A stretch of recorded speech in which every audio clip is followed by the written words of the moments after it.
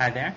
Hi there. This is. Uh, yeah, go ahead. I, this is uh, Matthew Yglesias. I'm a fellow at the Center for American Progress. And this is Matthew Continetti, and I'm a uh, what am I? Associate editor at the Weekly Standard and author of the K Street Gang. This is Bloggingheads TV. Matt, how are you? I'm good. I'm good. How are you? I'm fine too. I think this is actually technically our first Bloggingheads together. If I recall, we we recorded one uh, last year sometime, but it And was it went south. it was destroyed or perhaps classified. Um, yes. And We, uh, we were also on C-SPAN once. We were. That was yeah. That was that was way back. I think that was in the uh, 04 campaign actually. So Indeed. Shows how we're we're maturing. Exactly. Yes. Now, now we're on the internet. I, I now we're on the the internet. Uh, it's going to be important in the future. I think. it's a series of two. Right. exactly. So I, I thought we'd talk about. Well, first of all, I did want to get. You I noticed you did not. Uh, you had ambivalent feelings about Wolverine. Is that is that right to say? What were your? I haven't Well, you know. Wolverine. I just, uh, you know, I uh, I had my uh, my cousin's bat mitzvah on Friday night, so I so I didn't go to see it until Saturday, and, Mhm. and I'd seen um, my friends' twitters against Wolverine, and, and so I was I was set up for like like the worst movie ever, like Fantastic Four two or something like Right. that, or, or Daredevil. Rise of um, the and it's Sil- way better Silver than Surfer. those. Right Yeah. and it's uh it's it's it's I thought you know not that bad. That that that was how I would put it. Here, here's what my uh, I I haven't seen the movie yet, um, but basically when I look at the phenomenon of superhero movies, it seems to me that they are getting close to the point of jumping the shark.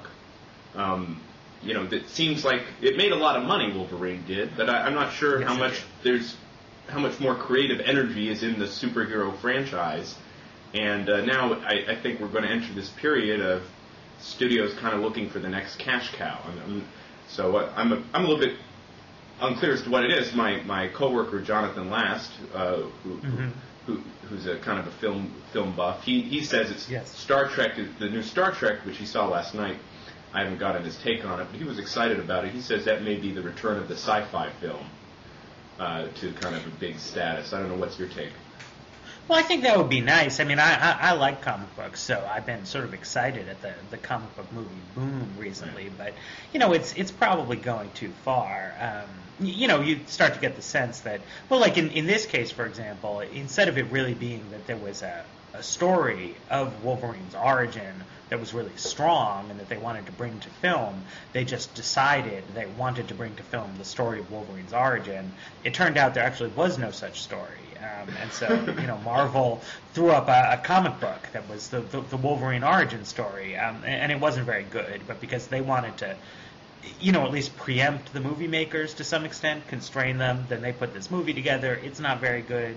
The the whole idea is sort of sort of ill conceived. Um, you know, and I think it, it wouldn't be a terrible thing for this ground to lie fallow. Um, I think the fact that we went only maybe five years between Hulk movies and, and the reboot of that series, that that to me was actually the moment when I think it became clear that, that we could use the studios to sort of give this a rest for a decade Right, or so. right, right.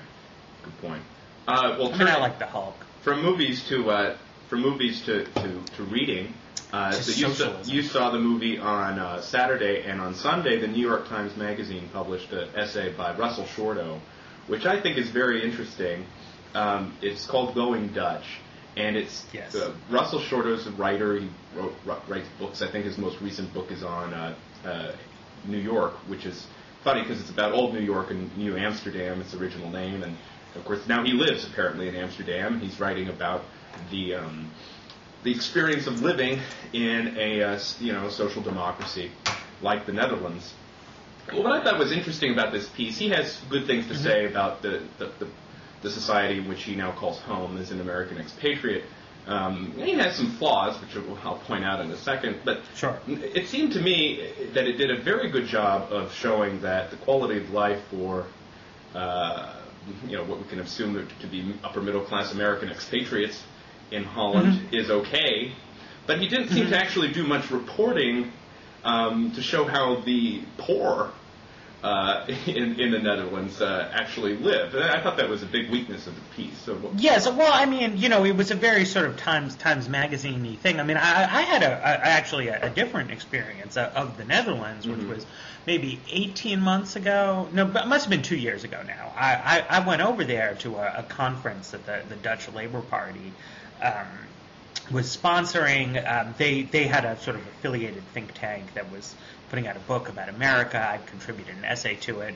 Went over to the Netherlands, um, and so we were talking there about, you know, sort of social policy and political problems in the United States and in the Netherlands. In both countries, the left of center power party rather was out of power at the time. There was sort of concern about Islamic terrorism, th- things like that, some similar issues. Um, and you know, at, at that moment, there were sort of some some stories in the news about. Um, uh, some political protests that, that, that had happened in a in a Muslim neighborhood in um, in Rotterdam, I think, rather than Amsterdam, where, where I was. But anyway, I, I went to see what was a, a, a poor neighborhood um, in in the Netherlands, and it was actually really striking how much better conditions were in like a quote unquote bad neighborhood of Amsterdam versus a bad neighborhood of Washington D.C. or Los Angeles or, or something like that. Um, now they had a, a, a some some social problems there um, related to the, the integration of, of Muslim immigrants that we um, do not have. Um, but in terms of the, the material living conditions there, I mean, you would see um, the the library in the sort of there was a it was like a public housing project, and then there was a, a public library there, and it was you know filled with school kids uh, studying you know quietly, and there was a, a police officer helping an old lady with her groceries, and you know the the kind of stuff that you sort of associate with with America, maybe from the 1950s, maybe it's not even really true, but sort of you know be- better times, more community spirit. Um, and what do and you? people could take advantage of a lot of services. yeah, what do you attribute that difference to? The the Dutch welfare state? Well, you know, I mean, I think there's a there's a there's a feedback mechanism. In part, the the Dutch welfare state helps maintain these things. In part, the fact that there's a sense of, of order in a lot of these smaller Northern European countries makes it more viable to have kind of generous welfare provision. I think. So the, the culture matters. The culture matters and, and the institutions matter, right? I mean, I mean, one thing. Well, so so Shorto goes into this in, in his piece in a I think a slightly superficial way, but that you know at first he had sort of sticker shock about the high prices in the Netherlands, and then he came to appreciate that well he was getting a lot of good services in return, and in part you know that's just because there's there's bigger government in the Netherlands, higher taxes, more services. But in part, it has to do with the um, efficacy with which the services are delivered, and that if you look at the the sort of the best performing European countries, Netherlands, Denmark, Finland, Norway, uh, places like that, they have really sort of high quality government. Y- You know, the, the institutions work very well, the people are, are quite competent, interactions with them are pleasant. Um, if you look at more, say, Italy or Portugal, um, they have higher taxes in the United States and more services in the United States, but you get more the, the quality of services that we associate with America, where many of the schools are not so good, uh, where a lot of people's interactions with the Department of Motor Vehicles, you know, leave a leave a sour taste in their mouth. So, you know, I mean, I do think the most important thing as a, as a liberal is to not be not be afraid to spend money, but that you have to you have to actually make the money worthwhile. The, the services need to really be good and not just be expensive. I, that's a, I think that's an interesting point. The um, what struck me about the piece were a few things. One, I, I think he left out the true cost of uh, the Dutch welfare state. He does mention the uh, the 52 percent uh, tax rate on income. Um, I, he doesn't. I don't know the Dutch, the Dutch tax system. I don't know whether it's progressive like ours. So I don't know whether that's a flat rate, that 52 percent, or whether he's in a higher bracket or what bracket he is in the Netherlands. But he says that's Right. that's 52 percent of his income. But he never mentions um, the the VAT, which I believe is 19 percent um, on on all products. And uh, he, Right. he also mentions the um, and there are, are there additional taxes as well. He mentions early on in the piece how uh, quaint it is that he rides his bicycle everywhere. Well, there's a reason for that, and the reason for that is um, there's a 40% uh, car tax, I'm told, uh, per vehicle, as well as uh, fuel taxes, which which rise, you know, raise the price of fuel to about I think seven dollars is the equivalent um, a gallon. So th- I mean, th- th- there is a cost to all of this. Um, I, it's hard for people in Washington sometimes to understand the concept that there's no such thing as a free lunch uh, because there are so Sure. many free lunches here. But the money has to come from somewhere, and the Dutch, it Right. seems, uh, I don't know their debt to GDP ra- ratio or how big their deficit is, Mm-hmm. um, but they tax a lot, and what that does, it yes, seems, is very high taxes. yeah, they're very high taxes. And uh, you talk about the services they have, but it seems it's very political. I, I for, from my perspective, um, I, rather than the Dutch or the American government giving me an allotment for my vacation, which is what he, he, he has in the piece, he says it disappears in his ATM. Uh, you know, they, they tax at the front end, and then, then they politically determine how much you're going to spend on vacation. I would say, well, why not? Why don't you keep the taxes low, and then I can determine how much I spend on my vacation. Um, I guess that's just the, the liberal conservative difference, though, isn't it? Well, you know, I, I actually think that the vacation thing is a, is a little bit idiosyncratic. I, I mean, the main difference is that there's certain uh, services provided there which are, are difficult to provide on a sort of a, an individual basis, right? I mean, it's things like people use their cars sub- substantially less there, in part because the taxes are much higher, in part because there's much better trams, there's much better sidewalks, there's much better bicycle facilities. They have um, It's also programs. it's for- also they- extremely they have- small. It's also extremely small, right? It's a, it's a, it's an extremely. I mean, it's it's densely populated. It's Right. like um, it's it's like New Jersey. But Yeah, it's a population of 16 million, so twice the population in New York and a country the size of New Jersey. Yeah.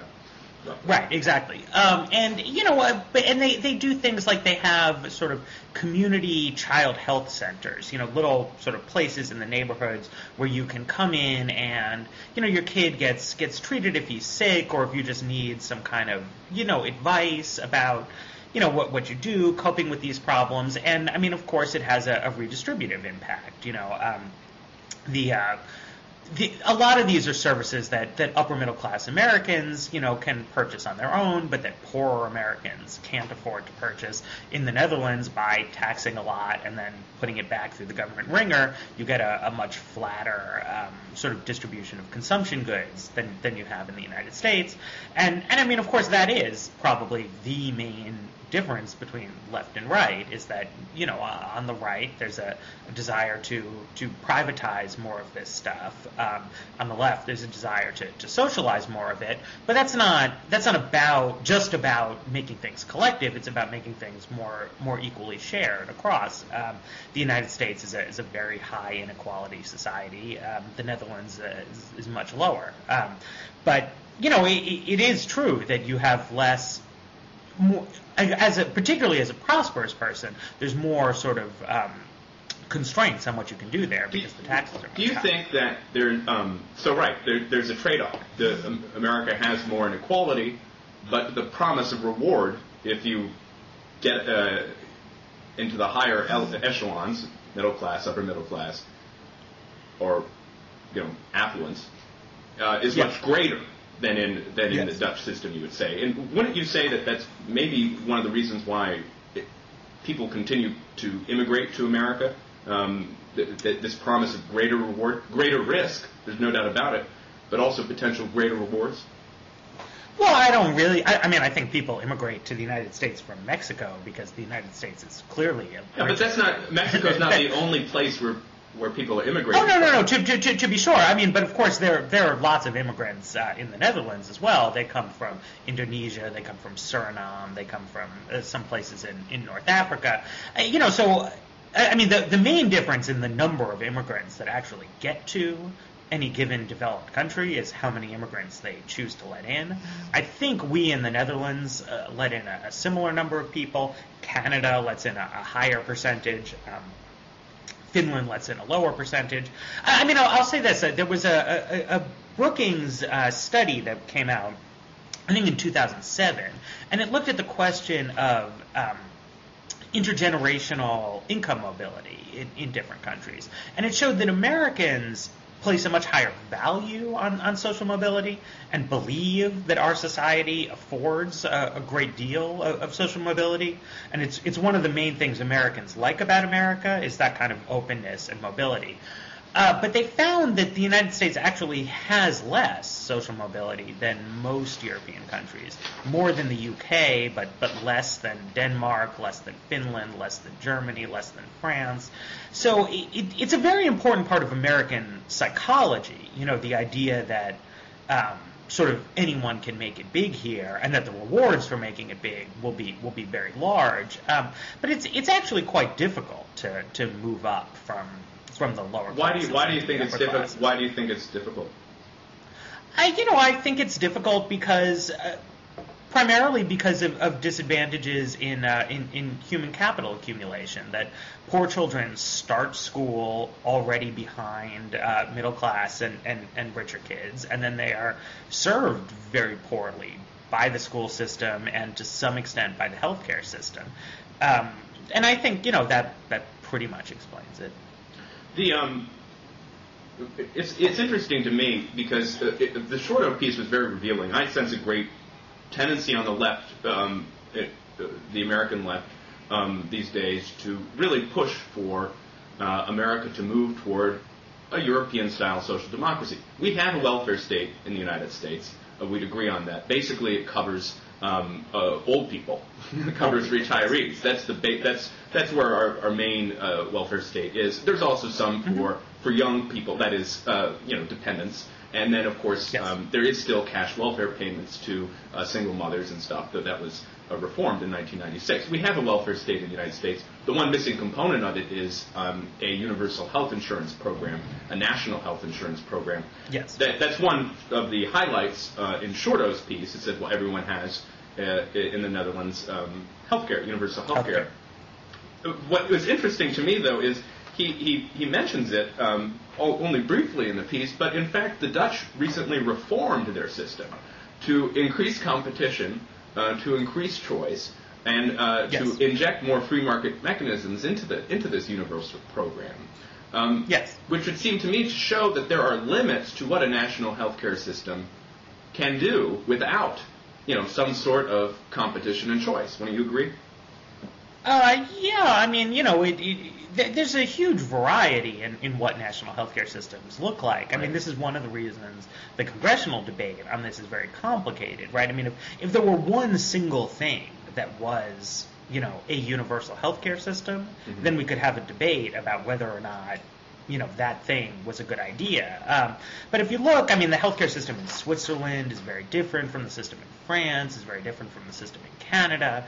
Uh, so there's a, sort of a, a whole range of things. Um, the United States, obviously, coming at this from a, a much more market-oriented status quo, I think is likely to move to something along the lines of, of the Swiss system or the new Dutch system. Um, whereas the Dutch had previously, I think, had had a system that was more like what's in place in, in Germany. Um, you know, and, and, clearly there's a, there's a desire to try to maintain um, choice and competition among healthcare providers right, among sort of doctors and hospitals. That's that's something that, that people like a lot, um, and that there's some kind of results for, and that has a. It's related to the question of health insurance, but it's not totally the same. So that, for example, on, on Medicare, we have a, a completely government-run insurance system, but the actual delivery of healthcare services is entirely in private hands. Um, so you can have the two. I, I, I don't actually think it works all that well, but um, old people and voters are, are very enthusiastic about Medicare, so you know that's sort of what you get. Um, just one more question I have on, on this piece. Um, it, it, seems okay, but you would agree though that you know the left right now they they want they want to move America more toward a system like the Netherlands or you know more like Denmark, say, or Finland. You were you, you've been to Finland, you, you enjoyed Finland yes. very much. So basically, we want to push us in the direction of a Northern European social democracy. Is that fair? Certainly, I do. Yes. Yeah, right. And I think you're representative of, uh, of the left, especially kind of younger uh, folks on the left. Mm-hmm. My question, whenever I, I, confront this, there are, to me, there are reasons um, that America hasn't already been to that place, why we don't have um, a, a, fully developed um, social democracy. And many reasons. I, I, think the left would say the primary reason is corporate power. Uh, that's why that's what's been stopping us and entrenched special interests, and you know we have the Senate and stuff, and it's hard to uh-huh. it's much harder to reform. I'm not so sure about though, uh, that though. And what what came across to me in this piece was some conversations that Shorto, an American who is enjoying his life over there, and American expatriates yes. tend to enjoy their life simply because they're they have the means to move to another country to begin with. Um, mm-hmm, mm-hmm. There's no reason to think that they wouldn't have a better quality of life if they moved anywhere else, uh, or worse. Um, he's talking with the Dutch, and they say, well, listen, you know, the, the, the pillars of Dutch society are consensus and security. Right. Right. And I look at I look at American society, and um, you know, consensus and collectivity. You do not describe this America. They, they don't at all. I would say rather we're a nation of disputatious, argumentative individuals. Uh, and also extremely diverse. The Dutch, um, if you look at the ethnic composition of the Netherlands, about 80% of this population of 16 million, this very small population, mm-hmm. are, mm-hmm. are ethnic Dutch, and the rest are 20% immigrants. Um, you know, I'm not sure where most of the Dutch immigrants come from, probably um, Muslim-speaking countries in Africa, uh, Muslim uh, countries in Africa. It's it's it's Suriname and Indonesia. Oh, in Indonesia, the right? Well, of course, they have they have a historical legacy there, right? Right, um, exactly. So, so it's a much more homogenous country than ours. Oh yeah, of course. And uh, a much more consensus-based culture than ours.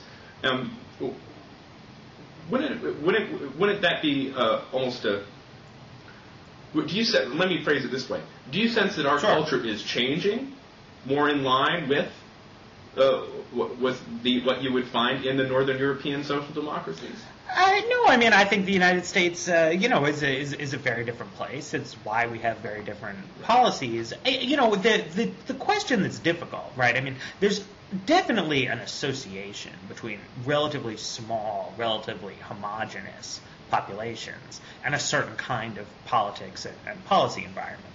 Um, the reason um, American policy isn't like Finnish or Dutch or Norwegian policy is that the United States isn't like Finland or the Netherlands or, or Denmark or, or any of those other places. Right. The, the, know, there's there's a question of whether that's um, you know a, sort of a, a intrinsic, right? I mean, is it that um, the kind of school system that they have in Finland or the kind of worker training programs that they have in Denmark actually couldn't be made to work in a large, more diverse society, which I don't really think. Or is it just that it's it's much more politically difficult to you know persuade people that it would be a good idea, uh, which I think certainly is the case. I mean, uh, America. Um, we have different political institutions, we have different traditions, we have uh, different kinds of people who have different kinds of interest. Um, so I don't, you know, I don't think, I, I think it's a, a, lot of conservatives, I mean, Mitch McConnell has led the way on this, some other conservatives, in saying that, you know, Barack Obama is going to transform America into a European style welfare state. And frankly, um, you know, I, I, would do that if I could, um, and maybe Barack Obama would, but I don't think he will. I mean, it's not and the primary reason feasible short-term goal. Right, but the primary reason you would do that is because you would have more equality, right? You, you would you want to do that because the median the 50th percentile person in Yglesias land would ha- would be better off than the 50th percentile person in the United States of America, right?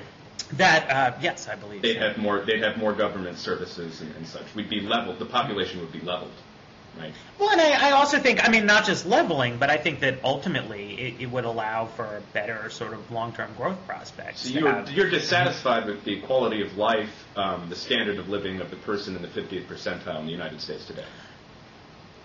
Well, I mean, to be clear, I mean, I think everyone needs to understand that anyone who is alive today in the United States of America or in the Netherlands is far better off than the vast majority of people in the world presently or through historical circumstances. I mean, uh, politics largely consists of disagreeing about, you know, domestic economic arrangements. Uh, so, you know, we, we spend a lot of time on the kinds of differences between these countries. But, you know, in the scheme of things, um, the median American is, is extremely well off and, um, you know, minorly improving or um, worsening their living standards was, is not, you know, I think in, in God's eyes, it's sort of not that big a deal what kind of healthcare system we have uh, in that sense, right? I mean, the biggest problems in the world are in China, they're in Africa, they're in India, things like that. Right. But I mean, I do think we could do better in the United States and ought to try. Right. And but the, again, the money has to come from somewhere. I would I would say this though, it, it, the um, yeah, the political system is different than uh, here than it is in those nor- northern European uh, countries, and um, But the, the sense of community is different. the right? sense I of mean, it's community is different. The, the space is different. We are this huge, huge country of uh, more than 300 million people. The ethnic composition is different. We have about two thirds are what we do call white Americans, descendants of European Mm-hmm. immigrants to the United States. A third then are uh, everyone else. Uh, so there is more, much more ethnic diversity. There's regional diversity. Um, there's uh, you know political diversity. Actually, not as much you would say as, as you might find um, in some of the other uh, parliamentary democracies across the world. Um, and and their cultural diversity certainly because of this uh, overall arching culture of, of what I would say disputatious, you know, individualism. People people like to have their identities and they like to argue about it, and they don't like people who don't share their identities, whatever they construct them to be. Um, I would just, as a, coming from my right of center perspective, I'd say, well, okay, well, let's look at this country that we have, this amazing, powerful, rich, beyond the wildest dreams of avarice country, and then let's look, let us see how we can keep that, those those qualities while also maybe, maybe marginally improving the condition of the person in the 50th percentile. Seems to me the, the, the, uh, the left either doesn't think that those characteristics are all that important that I've laid out, the uniqueness of America, um, or, or you know, at the end of the day, they're not that they don't matter because it because we need to make sure that the income distribution is as you know reasonably flat as it can be.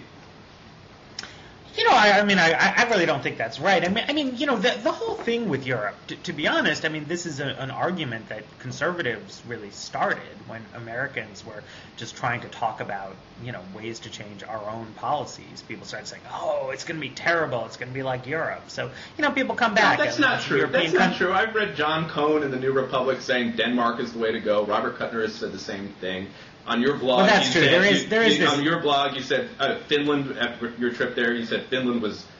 God, what you know? Why why can't we be more like Finland? Uh, so it's not the totally Mm-hmm. No, no, no, right. no, no, right, right, and look, I mean, I think there's lots of, but I don't think anyone. I mean, you read you read John Cohn's article about about Denmark, you read my article about Finland. You know, I mean, everyone is aware that you cannot transform the United States into a small Scandinavian country, right? I mean, it, it just that doesn't really mean anything as, a proposition.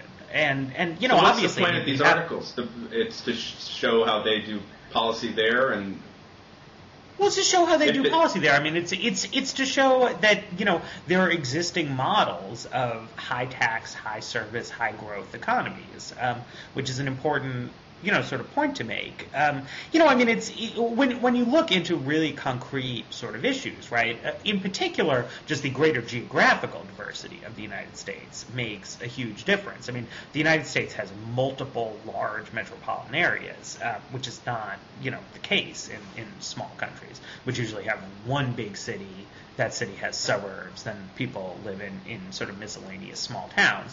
So you can do different kinds of planning. Um, but you know, I mean, when you talk about things, right? Like, does it show that having investing more money in retraining displaced workers can help build political support for free trade? It can help people find jobs. You know, Denmark is a pretty good example. If there were other giant rich countries, I think not- we could learn more from them. But there aren't. Is there right? really I a mean, political debate in America about retraining displaced workers? I mean, I, didn't John McCain run on exactly? I mean, I, I don't think there was any difference between the two major candidates in the last election. The debate, it, the No, debate no, no. I mean, I mean there, there, there, there, there wasn't. I mean, that's exactly the point. I mean, Right. So, neither candidate yeah, was the real- proposing anything nearly as ambitious. You'd what agree that the debate, the, but the debate that you would like to have, right, is how high do taxes need to go to provide these services that that you would like to provide, right? That's the debate. Um, well, I mean, I think it's a. you know, I mean, obviously, you know, Democratic Party politicians don't want to say, well, we should have much higher taxes. Um, you know, I, I think, in fact, we probably should. Right. Um, but that's, I, I mean, anyway, all, all I was saying is that there are only so many countries in the world. Um, besides the United States and Japan, there aren't any other like big rich countries. Um, so you know, you you have to if you want to try to draw any conclusions from foreign countries, you wind up drawing conclusions based on much smaller countries, and that's not. I mean, that's not really anybody's fault. Um, as best I can tell, absolutely no one thinks the United States should be more like Japan. right. Well, not that's- especially with their recent economic performance, and even there, the parallel's even worse because God, uh, what's the ethnic composition of Japan? I mean, it must be ninety percent, ninety-five percent. very yeah. homogeneous. Yeah, extremely Very much. homogeneous. I think actually Steve's Steve Sailer likes to talk up Japan. besides, I, I, I think we'll, we'll move on to another topic, but I think this is the Sure. core, and I think that th- here's what we can do is transition.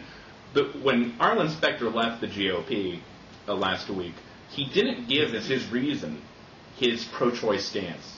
He's been pro-choice for decades. That's not why he left the party. A lot of the social conservatives in the party get a lot of heat. Oh, you're, you're, you know, you you're rejecting heretics and whatnot. But no, that's not why he left. Sure. Why- Why he left was his vote on the stimulus, which I think is going to turn out to be a dividing line in American politics. Um, in a way, even that the Iraq vote wasn't, because the Iraq vote was so bipartisan. I mean, you know, Uh-huh. ma- majorities in both parties uh, supported it, at least in the Senate, not not in the House. Right. Most, most House Democrats were against the Iraq. In any case, the stimulus, you have a real dividing line about the size of government. And that's why Arlen Specter was ejected, or rather, felt he had to leave the party. Um, he wasn't Mhm. he wasn't ejected like Joe Lieberman was in the 06 uh, Democratic But primary. he, I mean, he would have been right. I mean, Specter was on the yeah, yeah, road yeah, but he never he never, primary. he never decided, and it looked right, yeah, at the end of the day. But we never had the contest. So, um, basically, what I want to know uh, from you, my question for you is, what this is? A, listen, the Big Tent, the Republican Big Tent, has been packed up. It's been shipped. Who knows? It's someplace in, in Tennessee or somewhere. It's in cold storage Sure. waiting. The, the tent is over. Uh, we have partisan ID uh, for Republicans at decades low support. We have 60 Democratic senators when uh, Al Franken is being seated um, for the first time since the, the Carter presidency. Basically, the GOP is at its as, as its nadir. Um, uh, basically, it's returned to where it was post Watergate, post 74 election, and post 76 election. And as a, my question for you is, what are you guys at the Center for American Progress Action Fund doing to make this permanent? What do you think would make this type of thing as permanent as possible, stipulating that there are no permanent majorities? Uh, Sure, sure. Uh, Well, you know, I mean, I think y- you know, obviously, uh, people sometimes deride the um, uh, you know nonpartisan credentials of, of someplace like the center. Um, but speaking for myself, I mean, I fully expect the Republicans to be back and to be back pretty soon. I mean, maybe they'll lose ground in the next two elections and they'll be back in in 2014. Why, do Um, you, why do you think they're going to be back? Because I mean that's just how American politics works. You know, there's a there's an ebb and a flow to it. The geography of the Senate races two years from now is bad for them, and if the economy is recovering, Barack Obama will be reelected. Um, so that's you know relatively pessimistic uh, on the Republicans. But then the geography of the Senate races will be better. You know, in, in the midterms after that, Right. the economy's sure to go down again. Um, and so you know, I don't. I don't personally spend too much time worrying about how to get Republicans to, to, to lose elections or to, to get voters not to vote for them. The question is, is, you know, what kind of Republican Party uh, comes back, right? Is it a more moderate party or is it the kind of party that's being built right now, which is, you know, very conservative sort of across the board on everything. And because of the way American politics and American political institutions work, it's it's extremely hard to, to sort of, you know, do things um, with one party being just really fundamentally opposed to any kind of constructive action on, on climate, to any kind of, you know, provision of public services, things like that. So, you know, I, I don't totally know what, what can happen because I'm, I'm pretty sure Republicans will, will be back pretty soon, one way or the other. You know, I, I hope people do things like, uh, you know, read Ross Douthat's column today and, and think of ways to sort of, you know, not bring back like Arlen Specter style, you know, I'll cut a deal with whomever, but, you know, think of some real ideas about how to tackle problems. I think there's, you know, a, a lot of I, I, don't think that like free market economics is bunk and there's like nothing to be said for it. That's um, reassuring. But I don't think I, I don't think that Mark Pence, uh, Mike Pence, and Eric Cantor are really um, offering an important contribution to to the American policy. So you would say that you spend less time worrying about Republican power and more time worrying about conservative power. That's what you would say. Well, you know, I, I don't think even conservative or, or not conservative because so what do you, you spend know, time worrying about? What? What oh well, you know, I mean, sure. I mean, conservative is defined in a certain. I think a big problem in the United States is the um, just sort of obsession with the sort of Grover Norquist style. You know, no tax can ever go up under any circumstances for any reason kind of thing. I, I think America could become a much better place if we could if we could move beyond that idea. And why do you think? I mean, the reason that he's against all taxes is because he doesn't want to grow government, right?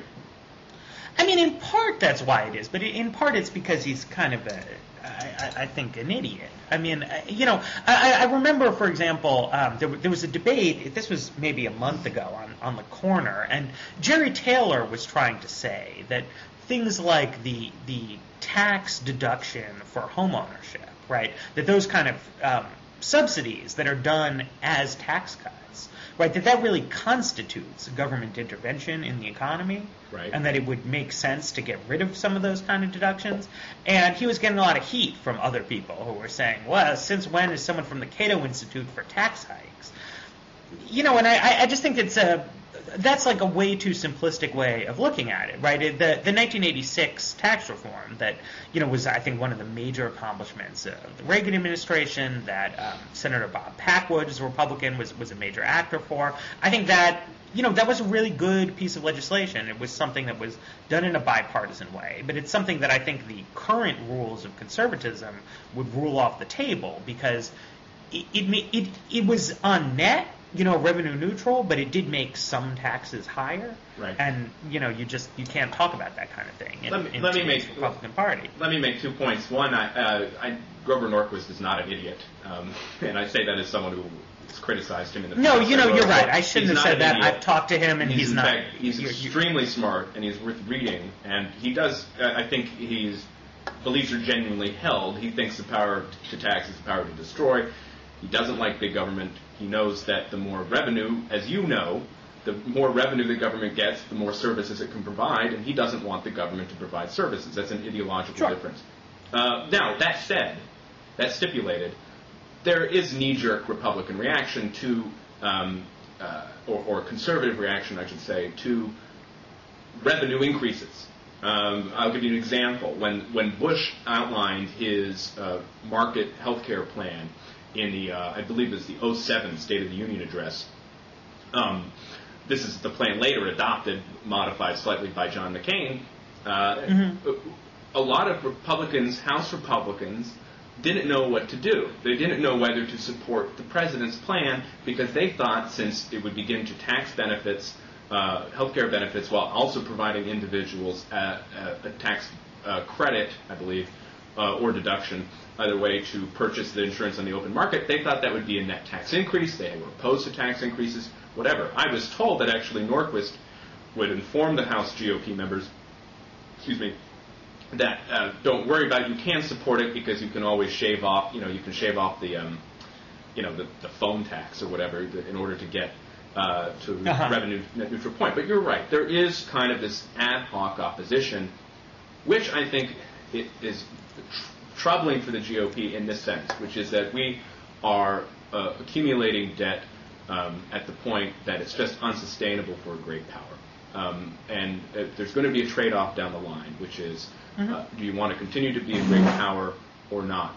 And if you do, you can't you can't you can't sustain this level of spending with, with this this level of deficit spending two ways to handle that. One way is to increase revenue. And there I think the discussion ought to be about uh, and this is what I think maybe Ross hints at in this column. He doesn't go this far, but it, it is an excellent column today. Um, it, you know, how do you do that? Do you do that in ways that won't punish the economy? Uh, do you do that by taxing things we should have less of, say like carbon, uh, and maybe lowering taxes on things that we should have more of, like jobs, like work? Um, or do you do that by across the board income tax uh, income tax hikes? Um, mm-hmm. And then the second part of it is, at some point, I think GOP people they're starting it with earmarks, which is stupid because earmarks are such a small part of the federal budget. You have to constrain overall government spending in order to get these imbalances in order. And I, I do think that, the, again, going back to the stimulus as a real dividing line in American politics, it's going to be spending where you're going to have most of the debates in American politics in the age of Obama. And I, I don't know how that will, I don't know how that will play out. How, how do you think? Uh, you know, I, I don't know. I mean, the the dilemma of, of sort of spending politics is that the controversy around spending seems almost inversely proportional to the amount of money that's actually spent on sort of a, a given program. Right. I mean, as you were saying, earmarks have come under under enormous attack to the point where you know Barack Obama had a lot of sort of anti-earmark talk in his campaign. Um, Senator Claire McCaskill is a Democrat. She's very passionate about clamping down on earmarks. But as you say, there's like there's almost no money you know involved in earmarks. Um, by contrast, Medicare is really expensive. I mean, a ton of money is spent on Medicare, and there's a lot of evidence that that money is not spent very effectively. And, you know, Peter Orszag has a lot of slides about this. It's something that, that liberal sort of wonks are very well aware of. Um, and yet there's no political interest whatsoever, you know, from, from Republicans or from Democrats. Well, that's because that's because in the in past, getting control of that. That's because in the past, 1995, when when the GOP yes. tried to constrain Medicare costs, the government was shut down, and the Democrats were able to tar the GOP quite effectively as opposing increases uh, and benefits for seniors. I think it's right, right, right. No, no, no, no, no, no. I mean, I mean, right. I mean, of course. I mean, you know, and I don't think. I mean, there were there were other issues in that in that specific um, debate, and but but I mean, uh, th- that was the point, right? Is that the the kind of spending that it's politically easiest to attack is the kind of spending that's like small dollar and, and trivial, whereas the big spending, right, which is Medicare, Social Security, and the Defense Department, right, that's where nobody you know want, wants to say they're for cuts. Right. Um, I, so I think it's it's it's difficult to have. Um, it, it, it's hard for me to know what a political debate oriented around spending that's going to leave you know all the biggest spending items off the table is going to look like. Well, um, I'm not sure. I, I think it may look pretty silly. Yeah, no, it would look silly, but I'm not sure the big items are going to be left on the table. I wrote it. Mm-hmm. I wrote recently wrote a piece for the Weekly Standard about this SAFE Commission Act. Uh, Frank Wolf is behind it, the Virginia GOP congressman. He's got Jim Cooper, the leader of the Blue Dogs, the Democrat from Tennessee, behind it. Again, it's, it's government by commission, which has always shown mixed results in Washington, but it does have a mm-hmm. mechanism in order to address Social Security, Medicare, Medicaid, and taxes. And also say this, the commission would report out saying, okay, we got we have structural deficits. They are unsustainable, especially with the levels of additional spending that Obama is proposing. Uh, so that's one method. We we could see, I think, uh, the big ticket That'd be items, an interesting commission. It would be, and I, I, think you could see the big ticket items on the, the um, on the table. The White House is adamantly opposed to such a commission. I will say this: if only Nixon could go to China, maybe only Barack Obama can reform Medicare.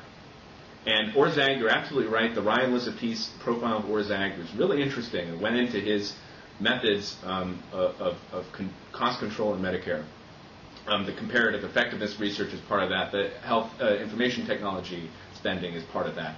Um, uh, down the line, it's going to. I, I think uh, Obama, in his interview with David Leonhardt, uh, that was published in the NYT magazine over the weekend, mm-hmm. you know, giving this uh, heartbreaking story of his grandmother and having to have a hip replacement and such. Right with the hip. Yes. You, you, have the sense that they're going to move in the direction where, uh, kind of like a progressive indexing thing, where wealthier recipients of Medicare are going to have to pay more in order to get some of these you know, actuarially costly items, replacing the hip of a 90-year-old who doesn't probably doesn't have much longer left anyway.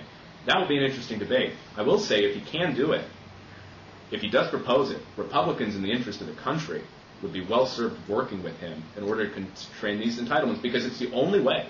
The only way they're going to get reformed is by Democrats taking the lead. And so this would be a good pl- opportunity for the GOP as constructive critics would be say, yes, we want to work with you. The big missed opportunity in Bill Clinton's second term, uh, we, we, we have plenty of indications that Bill Clinton mm-hmm. wanted to reform Social Security in his last two years. Probably not in a way you would have liked. Nonetheless, he did want to re- reform it. Sure. He couldn't because of the partisan warfare over the Monica Lewinsky scandal. Again, right. it, it would take a Democratic president to reform entitlements. Do you think that's right? Yeah, I mean, I, I, I think that's that's probably correct, and you know, I mean, and I think there's you know there's some indications of, of interest in that. I mean, I saw I saw a, a story quoted. Um, it was I think it's Karen Tumulty's new new piece in Time, and it's talking about Obama meeting with some um, Republicans about about health care, and I think it's uh, Obama is saying, well, you know, maybe we should look at uh, curbing malpractice lawsuits. Uh, you know, something conservatives talk about. And he said, "Well, you know, what do you guys? Um, what, what what what would you guys, you know, give me on health care? You know, if we did that?" And they basically, you know, they had nothing because they were kind of, you know, house guys and, and a little confused. Um, and and that was over like pretty small bore stuff, right? Um, it would take, I think, bigger thinkers bigger bigger men than we may have in the Congress on, on both sides, um, not just men, women too, of course, um, to sort of, you know, to say to say to him, President Obama, you know, you're talking about about malpractice, but like let's talk about serious cost controls in Medicare. You know, and then Obama says, "Whoa, you know, like that's big. I need something really big in return." And then they come up with something, right? I mean, that kind of big, big deal making. It's it's hard to imagine, and that's what gets people. You're saying swapping out. support for something like the public option with for cost controls in Medicare. Well, for some, I mean, something like a healthcare system that covers everyone the way Medicare doesn't, but that is not so um, ex- so hugely expensive on a per person basis the way Medicare Right? I mean, because right now we have this weird system where, like, if you're under 65, the government does, like, nothing useful for you in terms of health care. But if you're over 65, you get a, a, system that's so generous that people get a lot of, um, you know, services that appear to be unnecessary, um, where even very wealthy people pay very small shares out of pocket. And it doesn't, I, I mean, there's historical reasons why we developed that way, but that's not it's it's not fiscally it's not fiscally sustainable, and it also doesn't particularly serve the social justice objectives that, that you know liberals have. Yeah, no, I think that's interesting. I'm I'm, I'm just trying to think of some some uh, chip that Republicans could potentially swap. I mean, the public option, for various reasons, about the size of government, I think is a non-starter for Republicans. They're going to oppose it. Um, it'd be wise. Uh, this will all be in reconciliation anyway, so they you know, they'll be right to oppose it. Um, doing S-chip, I'll give you an example. I have no idea why Republicans oppose S-chip.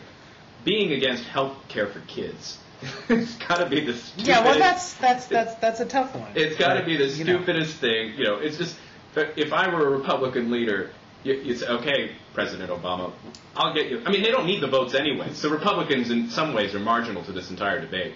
But right. you would say, okay, I'm going to support you basically what Republicans want is the government will take care of you after you retire, and they'll take care of you before you become an able-bodied adult. But in between those years, we have a free market plan that we want to implement, uh, where you, you, get a tax uh, credit or deduction, um, and you, you, we are going to increase competition. So you buying healthcare insurance, health insurance will be mm-hmm. a lot like buying uh, auto insurance and such. Um, that's what we want in between those years. But we're we're welcome to work with you on the years below 18 and the years above 65.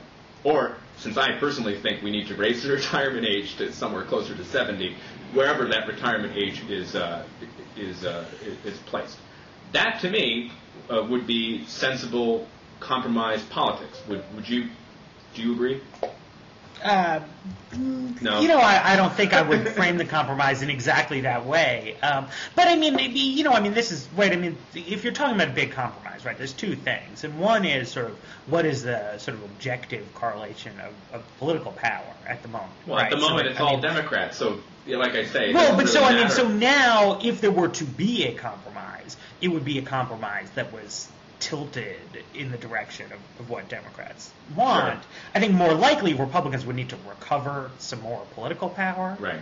to make it, you know, worth people's while to, Right. to, to compromise. Well, Uh, we're in what- Continetti land here, where you know, big. Right. I mean, I mean, what, what you were suggesting would be a, a you know, I mean, a, a huge giveaway for, for Democrats who, who don't really need to need to make it Right. in the short term. Right. Um, but you know, it's the the operations of the American Congress, to me at least, just do not inspire a huge amount of confidence in you know in, in anything. right? I agree. mean, what, yes. I right. I mean, so you know, what, whatever you thought about Obama's stimulus proposal, I don't think anyone thought, oh, when the congressional committees get through changing this, it's going to be a lot better, right? Right. I agree with that.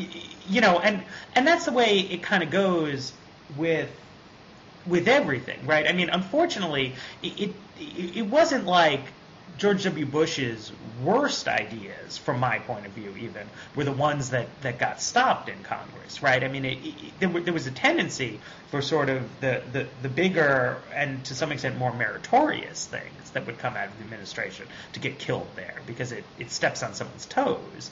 Um, so, you know, I mean, this is why you have congressmen themselves um, always thinking about, well, you know, can we appoint a commission, something like that, um, get some way, you know, somehow take this out of our hands. Um, but, you know, I, I just don't know. I mean, how much how much can you really get done through that mechanism? Um, before the system breaks down versus, you know, does Congress need to find some way to, you know, reform its own procedures? Well, uh, I think we can agree that we will. Uh, we were taught. We started this discussion by saying that we're getting older, uh, and I think we'll be much older still. We'll be doing Bloggingheads. Who knows? By the, by the time Congress actually starts reforming itself, uh, uh, Sure. we'll be uh, doing these uh, dialogues on holograms. But um, We'll be getting ready for our Medicare. Actually, you're right. We'll, be- we'll have much more invested in the debate then because we're about we'll Exactly, be about to go on it. But um, Yeah, it's gonna be uh, great. Why don't we leave it at that, uh, Matt Okay. It's been uh, it's been very re- interesting to me uh, to get your thoughts on a lot of these topics. I've enjoyed this discussion. Well, Thank you. I think we had good good discussion. Okay, thanks, and Matt. uh, you know, maybe we'll serve on a commission someday. One day we can only hope. Bye bye. Exactly. Bye.